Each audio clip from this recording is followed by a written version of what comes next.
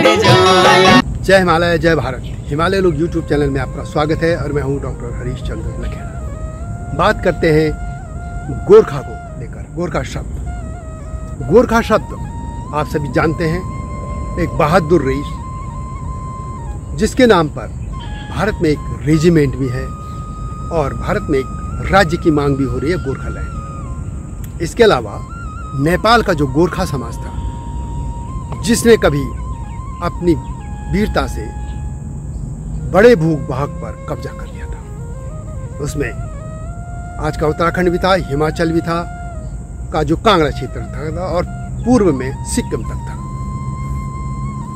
एक तरफ़ उस जमाने में जब मराठा उभर रहे थे, सिख उभर रहे थे, अंग्रेज़ भी पूरे भारत को कब्जा करने की कोशिश में लगे थे और मुगल सत्ता कमज़ोर हो रही थी। उसी दौरान हिमालय के क्षेत्र में एक गोरखा बहुत बड़ी ताकत के तौर पे उभरी थी। इन गोरखों ने, ये गोरखा कोई एक जाति नहीं था, इसमें शुरू में जो पृथ्वीनारायण शाह थे, जिन्होंने नेपाल का एकीकरण किया था। उनकी जो पहली जो गोरखा रेजिमेंट बनी थी, बटालियन बनी थी, गोरखा सेना बनी थी, जिसको हम कहेंगे, उसमें खस थे, खस क्षेत्री, खस ठक और ठकुरी ब्राह्मण और मगर। ये चार जातियाँ थी। लेकिन ब्राह्मण यानी बाहुन जिनको कहते हैं।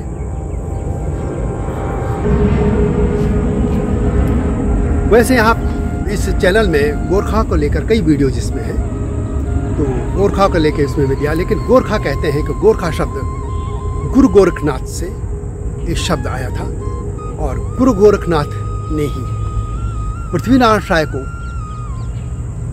नेपाल के एकीकरण की उन्होंने स्वप्न में उनको कहा था कि ऐसा ये प्रेरणा दी थी। और गोरखा एक जगह भी है वहाँ पे वहाँ पे कहते हैं कि गुरु गोरखनाथ गए भी थे। तो गोरखा से ये उन्होंने शुरू किया था अपना राज्य और वो बढ़ते बढ़ते और पूरा नेपाल, जब जैसे मैंने कहा, कांगड़ा से लेकर सिक्किम तक पहुँच गए थे। जैसे मराठों और सिक्कों का इतिहास तो पढ़ते रहे गोरखों का इतिहास पढ़ा नहीं गया था। वो ठीक है कि गोरखों ने जहाँ भी शासन किया, थोड़ा क्रूरता दिखाई थी। खुद उत्तराखंड में, उसकी मैं अलग से बात करता हूँ और उसकी वीडियो भी है और जिससे मैं पसंद भी नहीं करता, उन्हें बहुत क्रूरता दिखाई थी। लेकिन बात मैं उसकी नहीं कर रहा हूँ, सिर्फ़ मैं उनकी बहादुरी की बात कर रहा हूँ, एक पक्ष, दूसरे पक्ष में। तो गोरखा इतनी रेस थी, लेकिन आज क्या हो रहा है? गोरखा, ये शब्द अब इतिहास का हिस्सा बनने जा रहा है। ये वो जो गोरखा है जिनको लेकर मानेक शाह ने कहा था भारत के जनरल और फ़ील्ड मार्शल मानेक शाह। उन्होंने कहा था कि यदि कोई कहा था कि मुझे मृत्यु से डर नहीं लगता तो वो या तो झूठ बोल रहा है या गोरखा है। गोरखा ऐसा है जो मौत से नहीं डरता। और यही वजह कि आप भारत और यूके माने ब्रिटेन और सिंगापुर समेत कई देशों की सेना में आज, और नेपाल में तो है, गोरखा है। ये जो एक आइडेंटिटी थी, भारत में जो लोग, नेपाल मूल के लोग रह रहे हैं, वो अपनी एक पहचान बना रहे हैं कि हम गोरखा हैं। लेकिन नेपाल में अब यह सब इतिहास की तरफ़ जा रहा है। यह दुख की बात है। खुद भारत में भी उसका असर पड़ने लग गया है।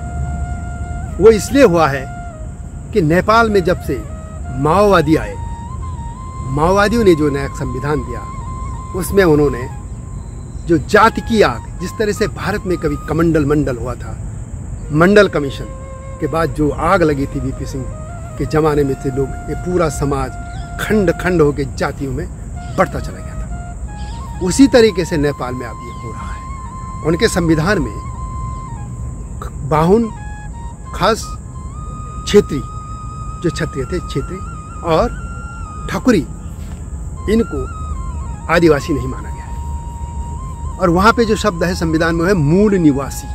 लिख दिया उन्होंने। जैसे भारत में ये नहीं लिखा भारत में सिडुल ट्राइब लिख दिया, वहाँ पे मूल निवासी लिख दिया। अब उससे क्या हो रहा है कि जो दूसरे लोग हैं, उसमें मगर है, गुरुंग है, राय लिंबू, तमांग और जो भी और भी जातियाँ जिसमें शामिल की गई वह कह रहे हैं कि हम ही मूल निवासी है, बाहर के लोग हैं। और एक और हुआ है, जिसमें एक मंगोल जातीय संगठन बने हैं, और वे संगठन लोगों को भड़का रहे हैं कि यहाँ के मूल निवासी तो मंगोल थे। हुआ ये रहा है कि जो गोरखा की जो बात थी, वो थोड़ा आधी रह गई कि उन्होंने पृथ्वीनारायण शाह ने पहले चार जातियों के रूप में शामिल किया था।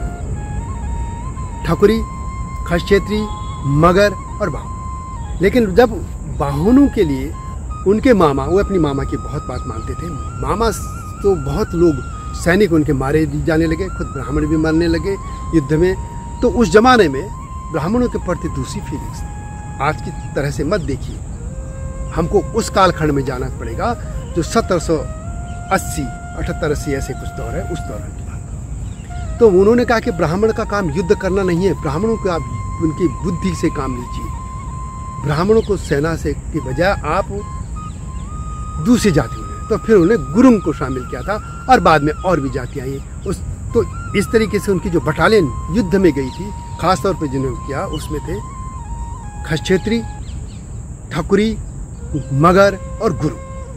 ये मुख्य तौर पर ये थे। और जब गोरखों का और अंग्रेज़ों का युद्ध हुआ था और जिसमें उन्होंने ये हिमाचल और उत्तराखंड का हिस्सा खो दिया और उधर पूर्व में दार्जिलिंग और सिक्किम वाला क्षेत्र तो वो जो सिंगौली संधि जो हुई थी उसमें ये खो दिया। तो जो नेपाल, यहाँ पे तीस, उधर पूर्व में तीस्ता और पश्चिम में ये आ गई काली नदी। जो कुमा बॉर्डर हाँ उत्तराखंड की बॉर्डर पे ये, इतने तक उनको समेट दिया गया था। तो उसमें के बाद जब गोरखों से एक और हुआ था कि गोरखे भी उनके शामिल होंगे, उनकी बटालियन में अंग्रेज़ों तो अंग्रेज़ों ने इनके अलावा कुछ और जातियों को भी शामिल किया। तो वो सभी गोरखा कहलाने लग गए थे। जैसे मैंने एक और वीडियो पहले भी बताई है कि नेपाल के सभी लोग गोरखा नहीं हैं और सभी गोरखा नेपाली नहीं। सभी गोरखा नेपाली नहीं है, इसका मतलब जैसे जो भारत में है, जो गोरखे वो नेपाली थोड़ी है। और जैसे हम वहाँ यदि नेपाल में देखें तो वहाँ के जो मधेसी हैं, या जो जैसे शेरपा हैं, या और भी कई जातियाँ हैं, नेपा नेवार हैं, ये गोरखा थोड़ी है। तो गोरखों कुछ लिमिटेड जो जातियाँ थी, जो मार्शल रेस थी, जो अंग्रेज़ों ने बाद में शामिल उनको करते गए तो गोरखा की परिभाषा विस्तृत होती चली गई। और गोरखा का मतलब है बहादुर रेस जो मृत्यु से नहीं डरती। लेकिन आज वही पहचान इन के बजाय नेपाल के लोग दूसरी पहचानों में मरते जा रहे हैं। हम मगर हैं, हम गुरुंग हैं, हम खस क्षेत्रीय हैं, हम ठकुरी हैं, हम मंगोल हैं। एक महान रेस को एक देश जो कभी किसी का गुलाम नहीं रहा और अपनी पाँव पे, अपनी संस्कृति पे मट्ठा डाल दिया इन माओवादियों ने। वो भी चीन की शय पर। ये सब चीन खत्म कर रहा है नेपाल को, समझ नहीं रहे लोग। चीन, उनकी जो आइडेंटिटी थी, बहादुरी की नेपालियों की, ईमानदारी, बहादुरी, दिलेरी, विश्वसनीयता। यदि ये कॉन्सेप्ट ही खत्म हो जाएगा गोरखा तो क्या बचेगा गोरखा? गोरखा शब्द यदि नेपाल का खत्म हो गया तो क्या बचेगा वो नेपाल के पास?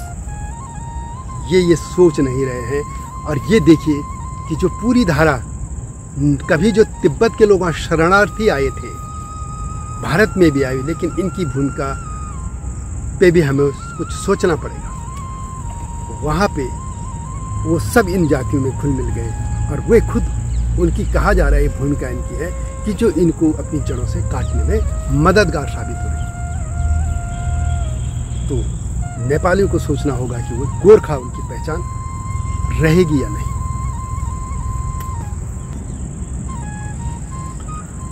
तो यह वीडियो कैसी लगी आपको? कमेंट में अवश्य लिखें और हिमालय लोक चैनल को लाइक और सब्सक्राइब अवश्य कर दीजिए। यह चैनल आप जानते हैं कि हिमालय क्षेत्र के इतिहास, लोक भाषा, संस्कृति, कला, संगीत, धरोहर आदि को देश, दुनिया के सामने रखने के लिए लाया गया है। यह एक मिशन के तौर पर मैं काम कर रहा हूँ। मुझे खुशी होगी कि यदि आप मेरे इस मिशन का हिस्सा बनेंगे और वो तभी बनेंगे जब इस चैनल को लाइक और सब्सक्राइब करें। अगली वीडियो की प्रतीक्षा कीजिए। तब तक जय हिमालय, जय भारत।